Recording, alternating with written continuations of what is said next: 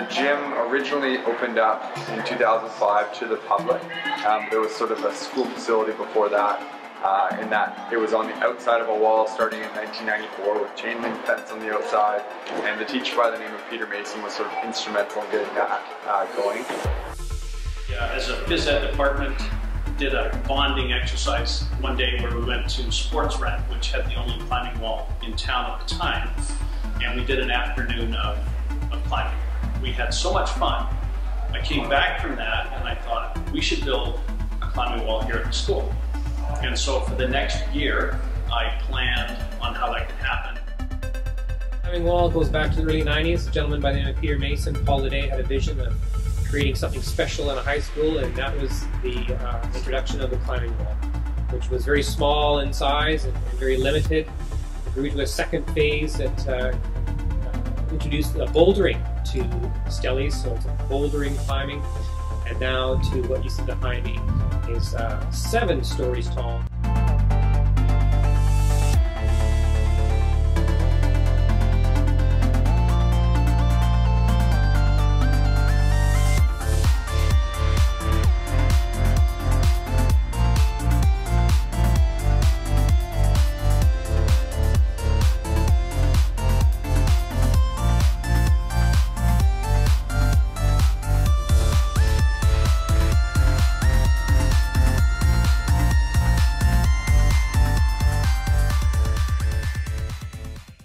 Was in grade seven.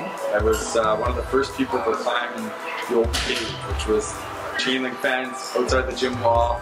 Uh, so that was in 1994. Uh, when I went here as a student, uh, I actually wasn't very, I wasn't into it, and I didn't really use the climbing wall at all. And then uh, after I graduated, after I finished university, I was sort of approached about teaching some of our outdoor programs, and within that came the climbing wall.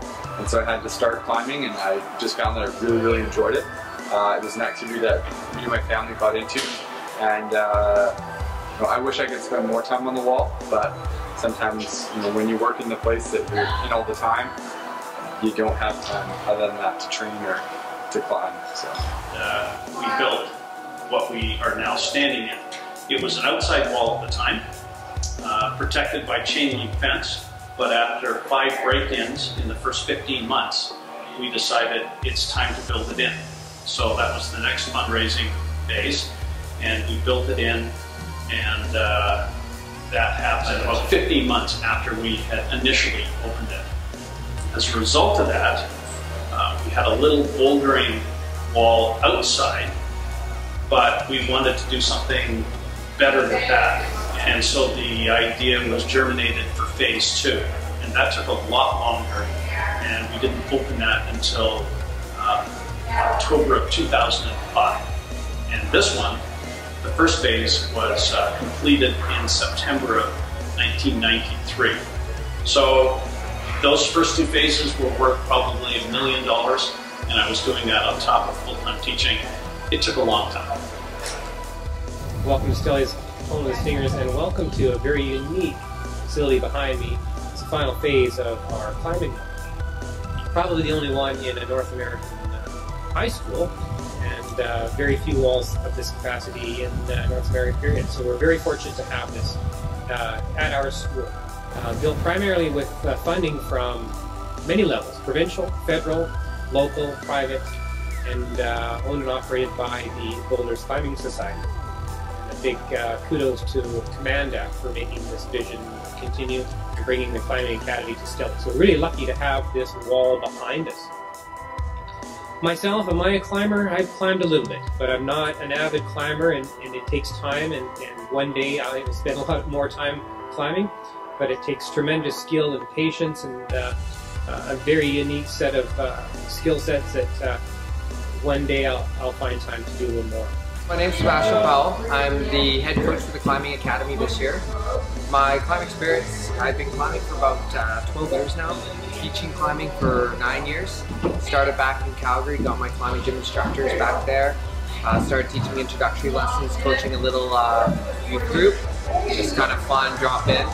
Moved out to Victoria and in 2004 I started helping out with a climbing club back out here with a lady named Amanda, and we just was a drop-in kind of after-school club, and it's grown from there. And so when we opened in 2005, I started coaching competitive teams. So that means about seven years now I've been coaching competitively. Kids all from um, just doing local competitions right to international competitions. And from then I've also got my CGI level three and also my TRCI, which is an outdoor guiding cert.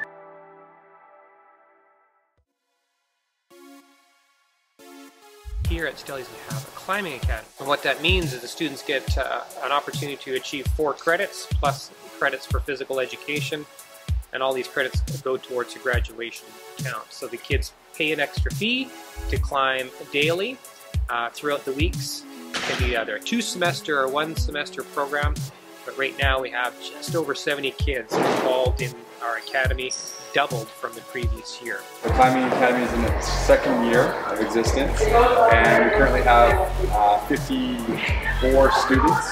Uh, about 16 or 18 of them are in a half year course, and then we have 36 students in a full year option. They spend three days on the wall, um, getting instruction and doing some sort of training, as well as two days of sort of fitness or you know, um, fit, sort of fitness related material. We do bring in guest speakers. The biggest thing for us in the Climbing Academy is that you know it's a, it's a safe place for people to enjoy themselves. And, um, you know, not everyone in high school fits in, in certain areas within the school. Well, our sort of goal and within the Climbing Academy is have a whole group accept themselves and uh, accept others as well. So we have you know we have students that are off to world championships, and we have people that right now can't make it to the top of the wall and that's okay. And uh, we need for them to be sort of welcomed within a group. It's grade 9 through 12, so you know the 9s and the 12s seem to get along, and that's the sort of biggest goal. Um, other than that, we really just want to grow the sport of climbing. We're not looking to put people on podiums. Um, we're looking to for them to develop a lifelong activity uh, where they can have some sort of physical fitness. Uh, I never had the vision for a climbing academy way back when, but I could easily see that it was a natural extension once we got this final phase uh, and expansion built. But that was Commanda's uh, vision to take it to that step. It's a natural place for an academy and, and having the, the, facility built at a school because we've got a complete turnover of students every four years. So we always have uh, students who are interested in climbing. We'd always have students who would help out with the rec man, belaying for birthday parties. It's just a natural fit for this to be at a high school. What I bring into this is my uh, my knowledge and my experience of developing programs, both training programs and just uh, technique programs for climbing. We put an activity out there. It doesn't matter if you just started climbing or if you've been climbing for say five, six years. We can then adapt that program or that exercise to your ability, right? So no matter where you're at, you get to learn at whatever progress you want. Um, and the nice thing is, is when we do it, we really do this as a um, evaluation based on yourself one-on-one. -on -one. We don't actually, we don't compare you to anybody else. So with my ability and my experience with climbing, I'm able to take a climber and evaluate based on where they are at and help them adapt the program to what they need it to be. Everybody, as we all know, learns in different ways.